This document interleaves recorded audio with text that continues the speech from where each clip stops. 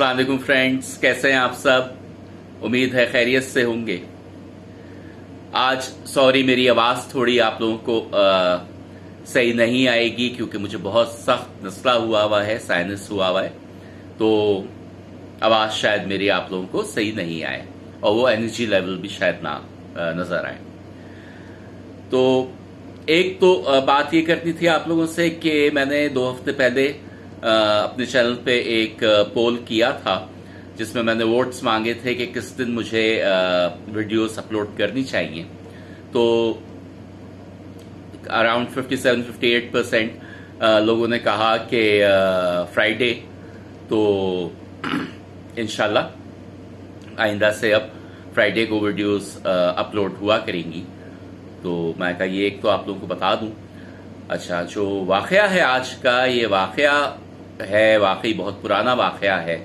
ये वाक़ शुरू होता है 1947 1947 में जब हिंदुस्तान अंग्रेज़ से आज़ाद हुआ और इंडिया और पाकिस्तान वजूद में आए तो बहुत से लोग माइग्रेट करके जो पाकिस्तान साइड बनी यहाँ से वो इंडिया चले गए और जो आ, इंडिया से बहुत से लोग मुसलमान माइग्रेट करके पाकिस्तान आ गए। तो इसी तरह से ये जिस फैमिली का मैं वाकया बता रहा हूँ इन लोगों ने इंडिया से माइग्रेट किया और माइग्रेट करके ये लोग भावलपुर सिटी में आके रुक गए। उस जमाने में जैसे हालात चल रहे थे और जगहें रहने को नहीं मिल रही थी, इनको एक खाली गुरुद्वारा मिला। तो ये फैमिली वहाँ गुरुद्वारे में जाके ठहर गई।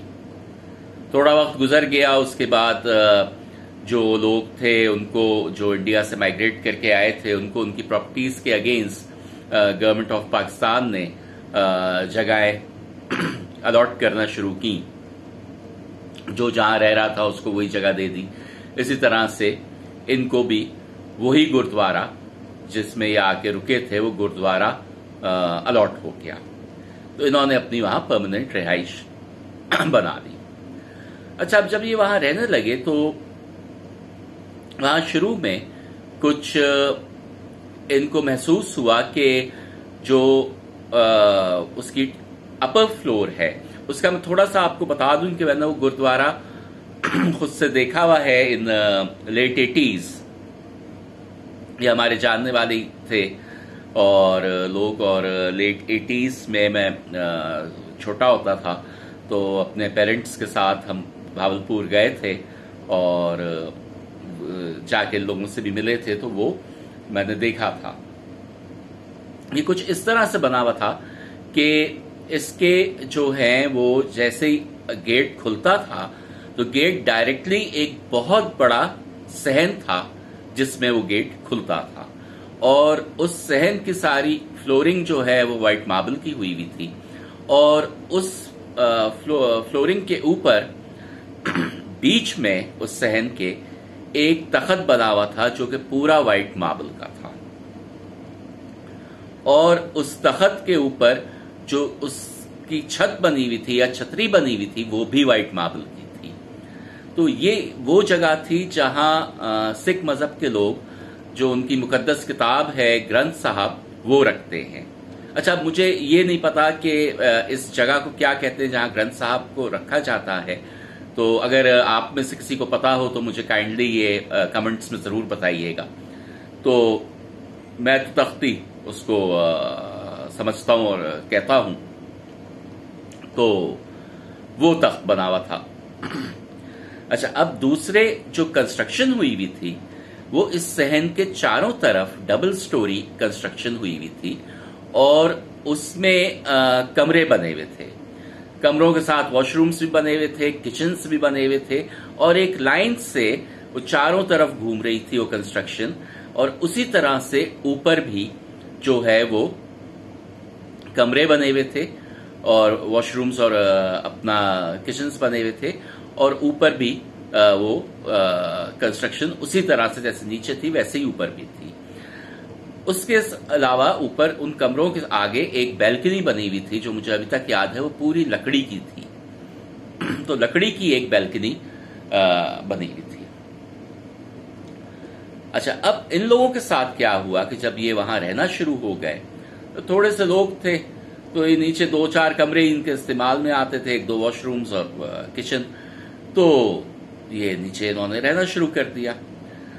अब इनको क्या हो कि ऊपर से आवाज़ें आए और बड़ी खौफनाक आवाज़ें आए, कभी हंसने की आवाज़ें आए, कभी रोने की आवाज़ें आए, कभी बच्चों की आवाज़ें आए, कभी बड़ों की आवाज़ें आए और लोगों के भागने, दौड़ने की आवाज़ें आए, बातचीत करने की आवाज़ें आए। तो ये लोग परेशान होना शुरू हुए। उसके बाद अक्सर रात को इनको वहाँ शेडोज भी नज़र आए। शेडोज बड़े भी नज़र आए, छोटे भी नज़र आए और कहते हैं कि बकायदा वो शेडोज से पता लगता था कि ये औरत का शेडो है, ये मर्द का शेडो है। लंबे लंबे बाल होते थे, औरत का जो शेडो होता था और उनको देख के पता लगता था और बच्चों के अलग आते थे नज़र। ये भी इन्होंने देखा। जब भी इन्होंने नहीं छोड़ी वो जगह, उस जमाने में जगह दूसरी मिलना बहुत मुश्किल थी, दूसरी जगह मिलती नहीं थी, लोगों के पास पैसे नहीं थे कि वो कोई जगह खरीद लें तो ये फिर भी वहीं रहते रहे। अब जब इन्होंने वो जगह नहीं छोड़ी उसके बाद भी तो फिर इनके साथ वाकयात शुरू हुए। और इनके साथ ऐसे वाकयात शुरू हुए कि बताते हैं बुज़ुर्ग कि ये इनके कपड़े जल जाएँ।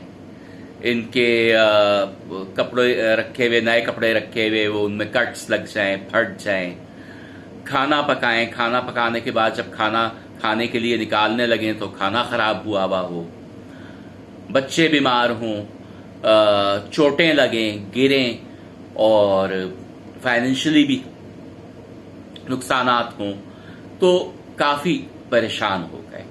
और स्पेशली जब इनके साथ ये हुआ कि इनके फिजिकली इनकी चीज़ें गायब होना शुरू हुई, कोई चीज़ कहीं रखो, कहीं से मिले, कोई चीज़ खो जाए, मिले ही नहीं। और टिपिकल जो हॉन्टेड जगहों पे वाकयात होते हैं, उस तरह के वाकयात वहाँ पेश आना शुरू हुए। तो इन्होंने किसी बुज़ुर्ग को कांटेक्ट किया, उन्हें बुलाया। तो उन्होंने आके बताया इनको कि यहाँ जिन्नात का बसेरा है। और वो खुश नहीं है तुम लोगों के यहाँ रहने से। इसलिए ये जगह जो है, ये तुम्हें तंग कर रहे हैं, अब वो फिजिकली तंग कर रहे हैं कि तुम लोग ये जगह छोड़ दो। नेचुरली उन्होंने कहा कि भाई, हमारे तो हालात ऐसे नहीं है कि हम ये जगह छोड़ सकें या कहीं और जाएँ या कोई और जगह। हम लें, खरीदें या रेंट आउट करें। तो उन बुज़ुर्ग ने उन जिन्नात उन जिन्नात के साथ एक मुहिदा किया। और वो मुहिदा उन्होंने ये किया कि भाई, ये जो फैमिली है, ये नीचे वाले हिस्से में रहेंगे और तुम लोग बेशक अपने ऊपर वाले हिस्से में रहो और इनको तंग नहीं करो। तो ये मुहिदा हो गया जिन्नात के। और इन लोगों के बीच में कि ये ऊपर नहीं जाएँगे, उन्हें तंग नहीं करेंगे, वो नीचे नहीं आके इनको तंग करेंगे जो फिजिकली तंग कर रहे थे। और इसमें हाँ एक चीज़ और भी थी कि खाना पकाते थे तो खाना गायब भी हो जाता था, खराब हो जाता था, कभी गायब हो जाता था। इस सब तरह की चीज़ें जो हैं, ये नहीं होंगी। इस मुहिदे के बाद ये बताते हैं कि वहाँ जो है ये जो फिजिकली इनको तकलीफ़ पहुँच रही थी और इनके साथ मसले मसाइल हो रहे थे, वो तो होना ख़त्म हो गए। मगर ऊपर से इनको आवाज़ें जो हैं, वो आती रहीं। वहाँ से बच्चों की भी आवाज़ें आए, बड़ों की भी आवाज़ें आए, औरतों की भी आवाज़ें आए, मर्दों की भी आवाज़ें आए और चलने फिरने की, भागने की। अच्छा क्योंकि जैसे मैंने पहले बताया था कि उसमें वो बैल्कनी बनी हुई थी लकड़ी की। उसमें अक्सर इनको शाम के बाद जो है शेडोज नज़र आए। उसमें बाकायदा चलने की आवाज़ें आए, जो लकड़ियाँ ऊपर जा रही थी, ऊपर वाली मंजिल पे सॉरी जो सीढ़ियाँ ऊपर जा रही थी तो उस पे भी वो लकड़ी की बनी हुई थी। तो उस पे बाकायदा ऊपर नीचे चलने की आवाज़ें आए। उसके बाद रात के वक्त अक्सर ये हो कि ऊपर से काले नागों का जोड़ा आए उतर के। और वो आके वहाँ, जहाँ तख्त मैंने बताया है आप लोगों को कि जहाँ ग्रंथ साहब रखते हैं तो उस पे आके वो बैठ जाया करे। और वहाँ वो बैठा रहे काफ़ी देर तक और उसके बाद वो वापस ऊपर चला जाए, मगर इनको कभी किसी को कोई नुकसान नहीं पहुँचाया। खैर, कोई लेट एटीज अर्ली नाइन्टीज तक वो गुरुद्वारा रहा है। फिर जो भी वहाँ के रिहायशी थे, जिन्हों, जिनको वो एलोकेट हुआ था या अलॉट हुआ था, उनके जो वारिस थे, वो बच्चे थे, उन्होंने बेच दिया। बेचने के बाद वो लोग अलग अलग जगहों पे शिफ्ट हो गए। फिर वो टूटा, टूटने के बाद वहाँ कुछ और बन गया है या नहीं बना है या क्या हुआ है, वो मुझे अब इल्म नहीं है, क्योंकि मेरा कोई कांटेक्ट नहीं है और मुझे नहीं पता कि अब वहाँ की क्या सिचुएशन है। मगर ये चीज़ उस जगह पे थी जो कि एक सच्ची कहानी है, एक सच्चे वाकयात हैं। और आज मैंने सोचा कि ये आपके साथ शेयर करूँ और बताइएगा ज़रूर कमेंट्स में कि कैसा लगा ये वाकया। आप लोगों के लिए बहुत सी दुआएँ। मुझे अपनी दुआओं में याद रखिएगा। अल्लाह हाफिज़।